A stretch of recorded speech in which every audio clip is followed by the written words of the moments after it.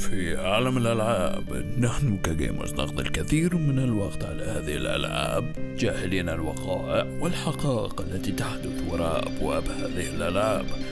ولكن لا تذعروا لأنني هنا في فقرة جان جيمنج لكي أنور عقولكم بجميع حقائق ألعاب الفيديو. ربما جميعها. أهلا بكم يا أحبتي يا إخواني يا أخواتي يا أصدقائي. اليوم جبت لكم حلقة أخرى عن Resident Evil ولكن هذه الحلقة ستكون عن Resident Evil 1, 2 و 3 و 4 بسبب غيابي الطويل أردت أن أصنع فيديو طويل. لذا أتمنى أن تستمتعوا. وإذا عجبكم فيديو لا تنسوا حبة اللايك وأن تشاركوا مع أصدقائكم. آه تعبت كثيرا لصناعة هذا الفيديو. المهم لنبدأ. في بداية مراحل تطوير اللعبة كانت من المفترض أن تكون جزء جديد للعبة رعب أخرى باسم Sweet Home Capcom أرادت أن ترى قوة ال PlayStation 1 وكيف ستكون لعبة رعب بال 3D بدلا من ال 2D ولكن تم تغيير اللعبة إلى لعبة جديدة خلال مراحل التطوير. تطلب تطوير Resident Evil 1 ثلاث سنوات.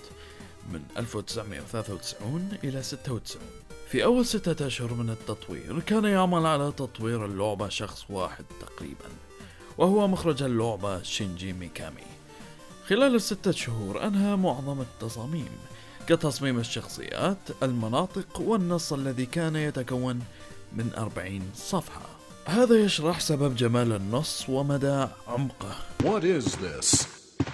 Stop it! Don't open that door! What is it? What is this? What is it? What is it? What is it? بعض اللقطات الأولى للعبة تبين أن اللعبة كان سيكون فيها كوب ولكن تم حذف الفكرة على أغلب الظن اتخذت الشركة هذه الخطوة بسبب حد قوة إمكانية ال PlayStation 1 اسم اللعبة الأصلي هو Biohazard في اليابان سبب اختلاف اسمها خارج اليابان يعود إلى مشاكل في حقوق النشر الرجل الذي كان مسؤولا عن إحضار اللعبة إلى الولايات المتحدة علم أن اسم اللعبة لن يتم قبوله بسبب وجود اسم لعبة قديمة بهذا الاسم وفرقة غنائية أيضا بنفس الاسم. لذا عقدوا اجتماع وقرروا تغيير الاسم إلى Resident Evil.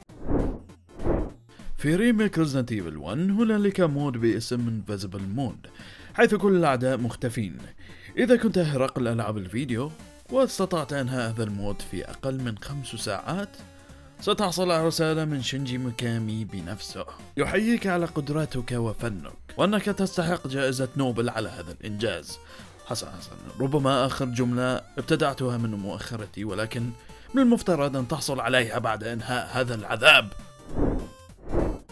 شينجي ميكامي أراد أن يكون اسم الجزء الجديد من السلسلة Resident Evil 1.5 وليس Resident Evil 2 وأن تكون آخر جزء في السلسلة ولكن أحد المطورين الرئيسيين لم يوافق على هذا الاختيار حيث لم تعجبه النهاية.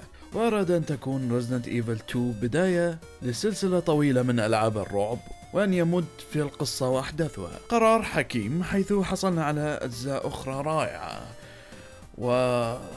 وللأسف أجزاء أخرى ليست رائعة. نسخة Resident Evil 2 اليابانية كانت أسهل من النسخ الأخرى وتم حذف بعض المقاطع العنيفة منها. نعم هؤلاء هم اليابانيون. يحذفون المقاطع العنيفة ولكن يقبلون بأشياء مريضة كهذا. Resident Evil 3 أصدرت بعد سنة فقط من نزول Resident Evil 2 هنالك سببان وراء سرعة إصدارها. الأول هو أن Capcom كانوا يعملون على عدد من الأجزاء الجانبية ل Resident Evil وأحدها كانت باسم Nemesis بعد نجاح Resident Evil 2 قرروا تحويل Resident Evil 3 إلى جزء أساسي للسلسلة. السبب الثاني هو أن PlayStation 2 كانت ستصدر بعد سنة ونصف. من وقت إصدار اللعبة. لذا أرادت Capcom إصدار جزء آخر على ال PlayStation 1 قبل الانتقال إلى ال PlayStation 2 من أفضل أجهزة الألعاب في العالم. فكرة Nemesis في اللعبة مستوحاة من الرجل الآلي T 1000 من فيلم ترمينيتر 2 Judgment Day. وكيفية أن هنالك خطر دائم يلاحق البطل على مدار أحداث الفيلم. أحداث Resident Evil 2 تقع بعد أحداث Resident Evil 3 بيوم. في Resident Evil 3 هنالك بعض الإشارات على وقوع أحداث اللعبتين في نفس المكان.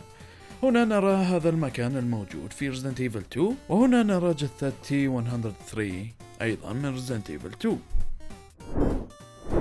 أحد الأسباب الرئيسية وراء التغيير الجذري ل Resident Evil 4 عن الأجزاء السابقة يعود إلى قلة نسبة بيع لعبة Resident Evil 0 رغم جودة اللعبة حيث شعر الناس إنها لم تضف أي شيء جديد لسلسلة Resident Evil مما دفع Capcom إلى هذا التغيير.